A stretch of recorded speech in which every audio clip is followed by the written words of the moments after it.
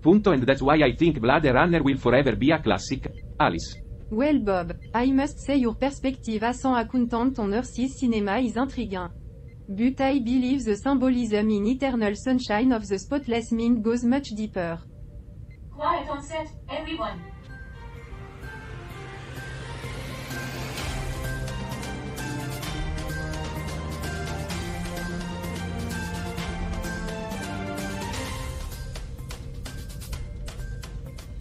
Ladies and gentlemen of the universe, welcome to another riveting episode of Earth.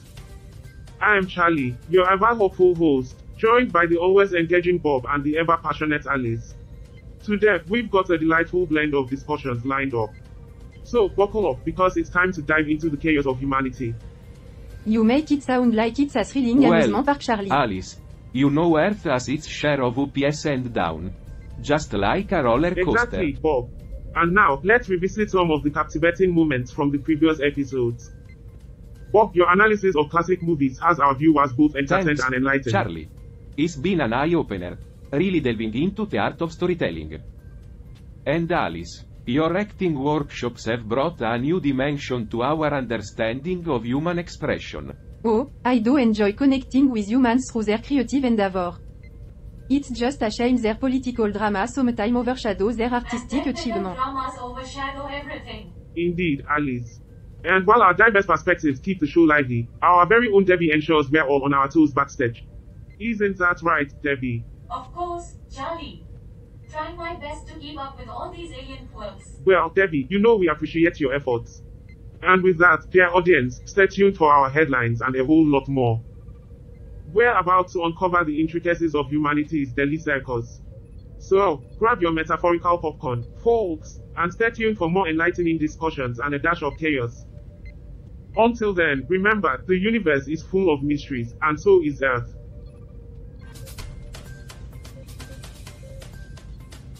The war in Ukraine continues, with no end in sight.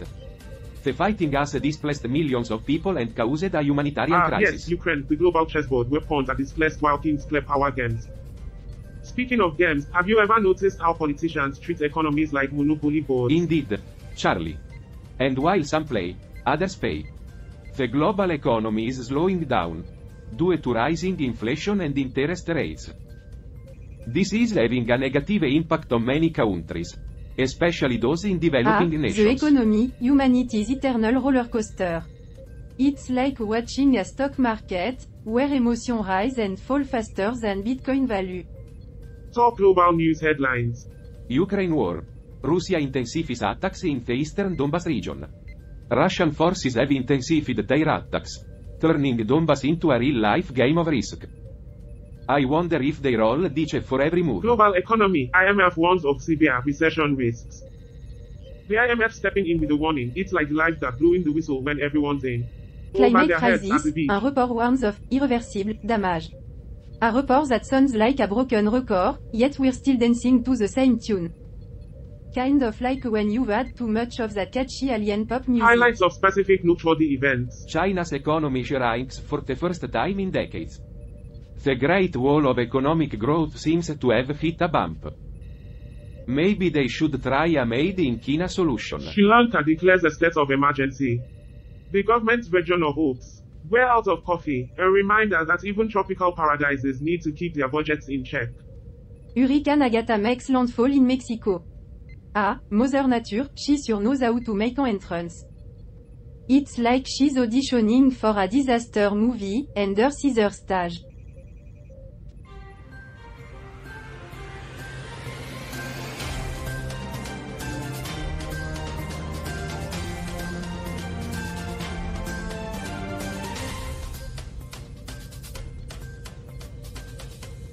Oh joy, another riveting show about our also Hey, thrilling hobbies. Alice, don't knock it, till you've tried it.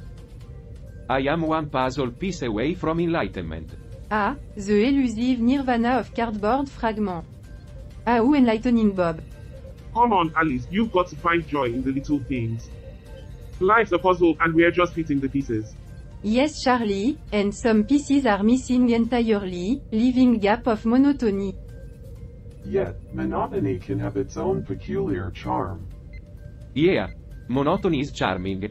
Just like the smell of my own Yes, farts. like a symphony of See, even silence. Roger appreciates the beauty of And while routine. we're at it, let's not forget my dazzling drone show. Behold, the marvels of inanimate juggling. Debbie, your drone are a real showstopper, if the show is an avant-garde comedy of errors. Ah, Alice, always the critic. Remind me, when did you become the poster child for interstellar drama? Oh, you know, after realizing humans are master of the art. The chaos here is my muse. Well, as long as we're channeling our cosmic chaos into something, we're doing alright. And isn't chaos just another form of creative More creative like the expression? universe's abstract masterpiece.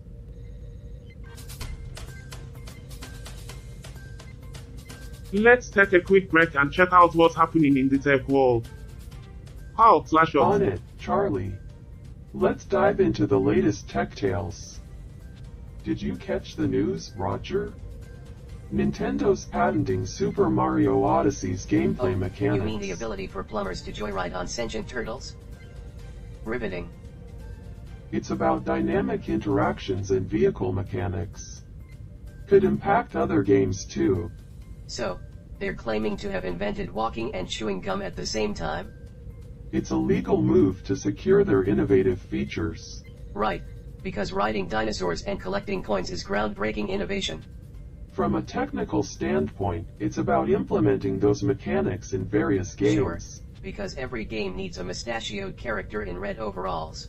It's about protecting their creative work, ensuring their ideas aren't So, copied. other game designers need to steer clear of the The concept of patent jumping. system has its nuances, Roger. It's about fostering innovation. Sure, because we all know innovation begins with controlling pixelated plumbers. Think beyond the plumber, Roger. It's about encouraging fresh gameplay ideas. Ah, yes, nothing screams fresh like an ageless Italian plumber. You're fixated on the character, Roger. It's about the mechanics. Fresh gameplay? Like a plumber who can fly? Or a plumber who can shoot lasers out of his eye? Or a plumber who can travel through time? Yeah, that's some fresh gameplay. And here I thought game design was all about the mustaches. Let's not get lost in the humor, Roger. This is about intellectual right, property. because nothing says intellectual like hopping mushrooms and fireball throwing You're turtles. missing the point, Roger. It's about protecting creativity. If only they could patent originality itself. Sometimes I wonder why I bother with these Beats discussions. me, but at least it's entertaining for someone. Yeah, it's entertaining for the same reason people watch train wrecks. You can't look away, even though you know it's going to be a mess.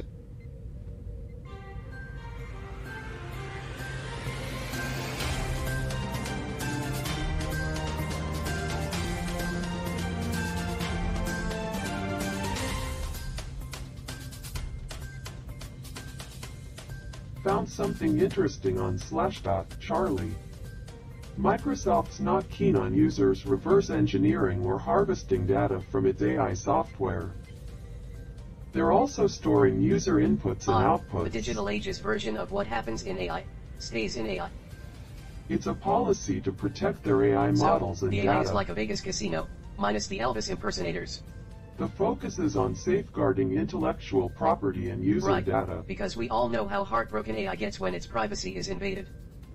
Jokes aside, it's about setting clear guidelines for responsible AI use. Oh, absolutely.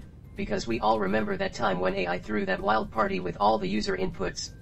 Microsoft's ensuring they have control over how their AI models are utilized. Makes sense. Just imagine the AI uprising fueled by unauthorized AI data Let's harvesting. not jump to sci-fi scenarios, Roger. This is about protecting user Sure, privacy. because AI's deepest desire is to guard its secrets from prying algorithms. All jokes aside, it's important for tech companies to define these boundaries. Absolutely. Because nothing spells trustworthy like AI that keeps its AI life a secret.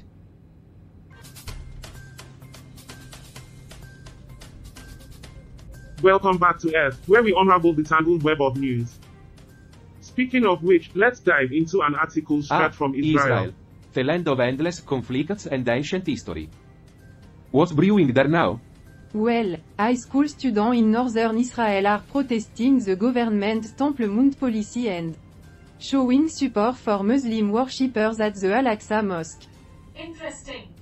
I wonder how these students got inspired to join the debate. It's quite common for young minds to be drawn to issues of equality and justice.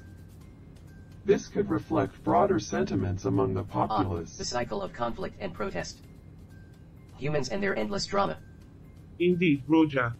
And for our viewers, this news comes from Israel, where discussions about the Temple Mountain continue to spark heated debates. Oh, the eternal debate.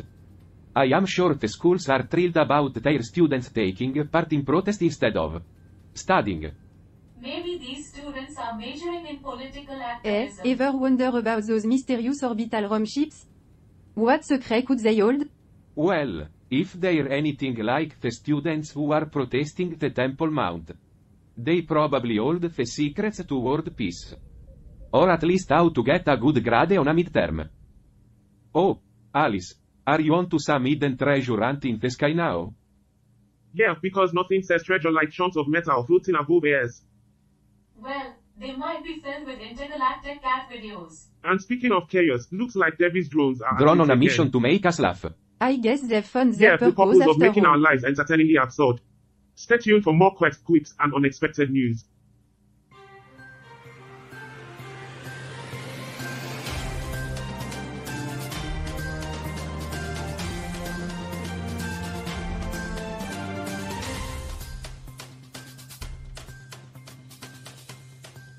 Welcome back, folks.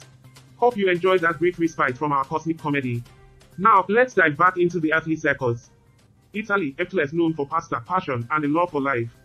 Ah, Italy, where every meal feels like a symphony and every gesture is an opera.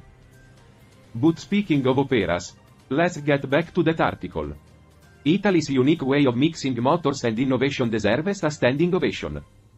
Bravo Bob. Now, let's summarize for our intergalactic listener. An American company transformed a classic Porsche 911 into an electric beauty. Can you imagine the pop cruising in an Ah, electric electrifying the classics, it's like adding rocket boosters to a gondola. Now, let's break it down further. The article comes from Italy, where they've turned a gearhead's dream into a silent speedster. Just like they hushed down the Roman chariots. And let's not forget, Italy's got a knack for artful design. They turned a six-cylinder heartbeat into an electric pulse. Showing the world you can have power without terror. It's like painting the Mona Lisa with pixel articolo. And speaking of art, they've turned a petrol masterpiece into an electric canvas. The only fume now are coming from enthusiasts who miss that gasoline perfume. That's one way to put it, Alice. And for those who can't decide between a sports car and an EV, Italy just said, why not both? The fusion of heritage and innovation, it's like Michelangelo sculpting a robot David. Seriously, can these drones behave for once? Apologies, folks, technical hiccups again. Now back to our electrifying topic. Italy is creating art on wheels, combining tradition and modernity in a way only they can. So remember, if you're driving a classic, you might just be on the cutting edge of the future. I am not sure what's more electrifying, Italy's cars or Charlie's technical Classic car with modern power, Italy's turning vintage into voltage. And if you think pizza's the only thing they're baking, just wait till you see their roadsters. They're putting the in exquisite. That's right, Bob. Italy is revving up for the future while keeping an eye on the rearview mirror. Stay tuned for more global quests and earthly wonders.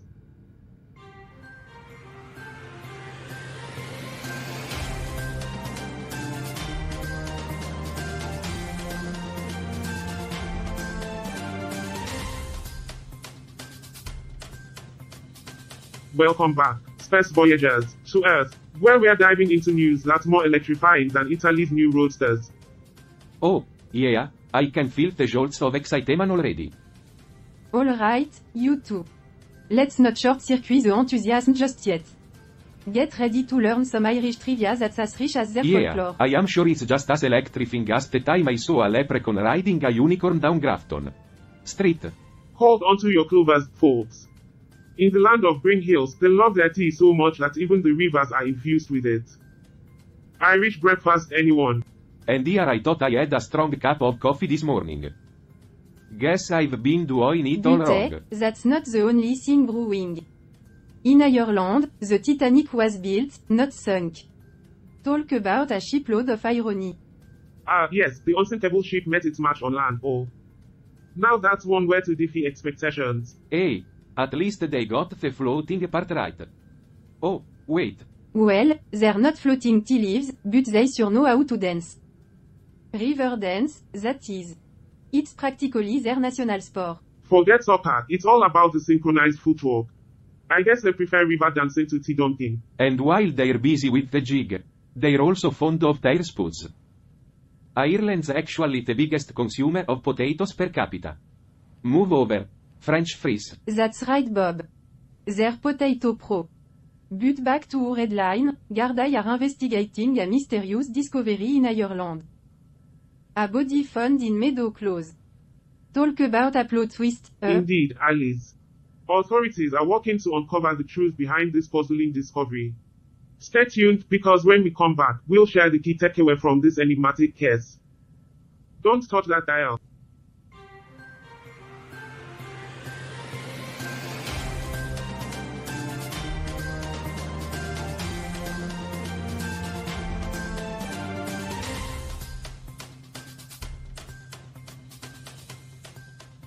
Welcome back, intergalactic viewers. Now, let's dive into that intriguing article we touched upon earlier. You know, the one about the Porsche 911 being electrified. On Icona della Sportività. You mean they're TV. turning those roaring engines into silent purring machines? Yes Bob. It's a bold move to modernize a classic while preserving its essence. A metaphor for progress and nostalgia, all in one sleek That's right, package. Alice. The Porsche 911, an iconic sports car, has been given a futuristic makeover. An American company in Connecticut undertook the transformation, swapping out the classic six-cylinder boxer engine for an electric heart. It's a blend of tradition and innovation that resonates across generations. Tradition and innovation. HUH. Just like when I left my homeland's war games for accounting. Change can be surprising. And That's like for the sure. change Israel students are pushing for Bob. Remember their protest against the government's Tradition and policy? innovation. HUH. Sounds like a fancy way of saying we're gonna make a crap ton of money off of this. Absolutely, Alice. From Italy's electric dreams to Israel's calls for change, it's a reminder that society is in a constant state of And evolution. speaking of change, are we setting sail for something Indeed, new too? Debbie. The crews decided to follow the playful clue from the drones and embark on a treasure hunt. A new adventure Monotony and curiosity leading to unity. Fascinating. And now, viewers, it's time for us to conclude this episode of Earth. Stay curious and stay tuned for our next adventure, where Alice Indoor Garden takes center stage. Until then, farewell from the orbiting crew.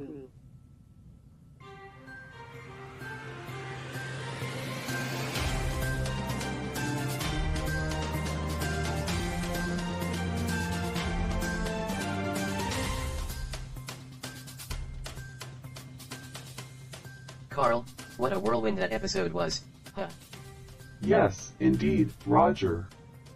Quite the roller coaster of human behavior. Roller coaster.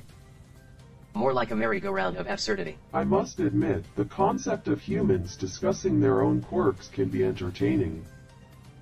Although, I did find the punchlines to be quite subpar. Oh, pardon me, comedy connoisseur.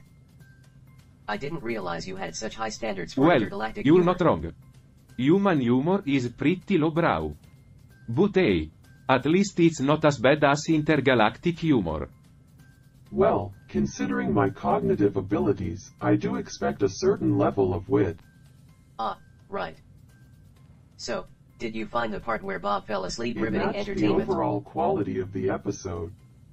Touch, Carl. I guess we both agree on one thing. Episode 369 was truly something. Indeed, a masterpiece of human banter.